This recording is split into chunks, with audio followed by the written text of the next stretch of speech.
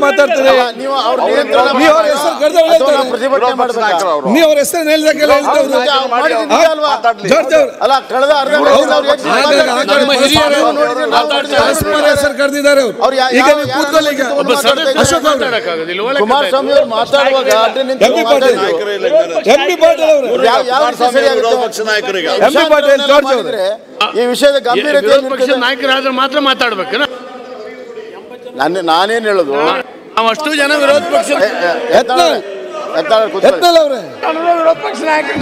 ಇಲ್ಲಿ ವಿರೋಧ ಪಕ್ಷ ನಾಯಕರು ಯಾರು ಸ್ವಾಮಿ? ವಿರೋಧ ಪಕ್ಷ ಅಲ್ಲ. ಎಂ ಬಿ ಸ್ವಾಮಿ ಪಾಟೀಲ್ ವಿರೋಧ ಪಕ್ಷ ನಾಯಕರು ಐದು ನಿಮಿಷ ಕೂತ್ಕೊಳ್ಳಿ. ಆರೋಪ ಎಂ ಬಿ ಪಾಟೀಲ್ ಪ್ರತ್ಯಾರೋಪ ಫೈವ್ ಅಲ್ಲ. ಮಿನಿಟ್ಸ್ ಶಿವಾನಂದ ಸತ್ಯ- ಐದು ನಿಮಿಷ ಸುಮ್ಮನೆ ಗೊತ್ತು ಪ್ಲೀಸ್ ಇದು ಆರೋಪ ಪ್ರತ್ಯಾಪ ಅಲ್ಲ ಸತ್ಯ ಹೊರಗೆ ಬರಬೇಕು.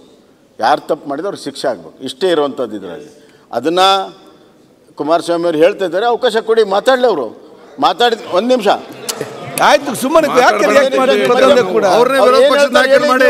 ನೀವು ಅವ್ರು ನೀವು ಹೇಳ್ದಂಗೆ ಹೇಳ್ಬೇಕು ಮಾಡಿ ಬಿಜೆಪಿ ವಿರೋಧ ಪಕ್ಷದ ನಾಯಕರು ಹೇಳ್ದಂಗೆ ಅವ್ರು ಹೇಳ್ಬೇಕಾ? ಏ, ಅಲ್ಲ ನೀವು ನೀವು ವಿರೋಧ ಪಕ್ಷದಾಗಿದ್ದಾಗ ಮಾತಾಡ್ತಿದ್ರಿ ಹಿಂಗೆ ಪರವಾಗಿಲ್ಲ. ಈಗ ಆಡ ಮಂತ್ರಿಗಳಾಗಿ ಹಂಗೆ ಮಾಡ್ತಿರಲ್ಲ ನೀವು? ಮಂತ್ರಿಗಳಾಗಿ ವಿರೋಧ ಪಕ್ಷದ ಸದಸ್ಯರ ತರ ಮಾಡಿದ್ರೆ ಹೆಂಗೆ? M B Patil. ಯಾಕೆ ವೈ ಆರ್ ಒಂದ್ ನಿಮಿಷ. ಅಲ್ಲ ಅವರು. ಕುಮಾರಸ್ವಾಮಿ ಕುಮಾರಸ್ವಾಮಿ. ಅವರು ಡಿವೈಎಸ್ಪಿ ಅವ್ರ ಅದೆಲ್ಲ ಚರ್ಚೆ ಆಯ್ತು ಈಗ. ಈಗ ಚ- ಈಗ ಹೋಗ್ಬೇಕಾ? ಈಗ ಸೀದಾ ಹೋಗ್ಬೇಕಾ? ಸುಮ್ ಸುಮ್ನೆ ಆಯ್ತು ಸುಮ್ಮನೆ ಅಲ್ಲಿಗೆ ಬರುವ ಸಬ್ಜೆಕ್ಟ್ಗೆ ಬರುವ ಅಲ್ಲಿ. ಇರ್ಲಿ ಈಗ ಏ ನೀವು ಕುಮಾರ್ ಏ ನೀವು ಸಿಮ್ಮನ್ ಕೂತ್ಕೊಂಡ್ ಅಶ್ವಥ್ ನಾರಾಯಣ್ ಹೇಗೆ ನೀವು ಸ್ಟೇಟಿಂಗ್ ಪ್ರಾಬ್ಲಮ್ ಅಲ್ಲ ಈ ಜಾರ್ಜ್ ಅವರು ಈ ವಿಷಯ ಬಿಟ್ಟರು. ಪೆನ್ ಡ್ರೈವ್ ಪೆನ್ ಡ್ರೈವ್ ವಿಚಾರ ತೆಗೆದ್ರು. ಪೆನ್ ಡ್ರೈವ್ ವಿಚಾರ ಅದಕ್ಕೆ ಬೇರೆ ಬೇರೆ ಟೈಮ್ ಬಿಟ್ಟು ಬಿಡಿ. ಈ ಚರ್ಚೆ ಮಾಡಿಬಿಡಿ. ಕುಮಾರಸ್ವಾಮಿ ಅವ್ರಿಗೆ ಮಾತಾಡಕ್ ಬಿಡಿ. ಆಮೇಲೆ ಇಲ್ಲೇ ಇದ್ದಾರೆ ಚಲರಾಜ ಸ್ವಾಮಿ ಅವರು. ನೇರವಾಗಿ ಅವ್ರ ಬಗ್ಗೆ ಮಾತಾಡಿದ್ರಿಂದ ಅವ್ರಿಗೆ ಅವಕಾಶ ಕೊಡಿ. ಆಮೇಲೆ ತೀರ್ಮಾನ ಮಾಡೋಣ. ಈಗ ನಮ್ಗೆ ಉದ್ದೇಶ ಏನು? ಯಾಕೆ ಕೂತನೆ ಮಾತಾಡ್ತೀರಿ? ಎಫ್ ಐ ಆರ್ ಸುದ್ದ ಹಾಕಿಲ್ಲ. ಇದು ಏನೋ ಇದ್ರ ಹಿಂದೆ ರಾಜಕಾರಣ ಇದೆ. ಅದಕ್ಕಾಗಿ ಇದು ಸಂಪೂರ್ಣವಾಗಿ ನಿಷ್ಪಕ್ಷಪಾತವಾದ ತನಿಖೆ ಆಗಬೇಕು. ತಪ್ಪಿಸಿದ್ರೆ ಶಿಕ್ಷೆ ಆಗಬೇಕು.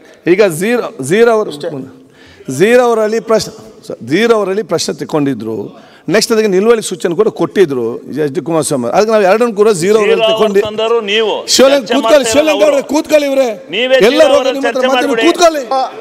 ಅವರು ಕ್ಲಬ್ ಮಾಡ್ತಾರೆ ಕ್ಲಬ್ ಮಾಡ್ತಾರೆ ಕೂತ್ಕೊಳ್ಳಿ.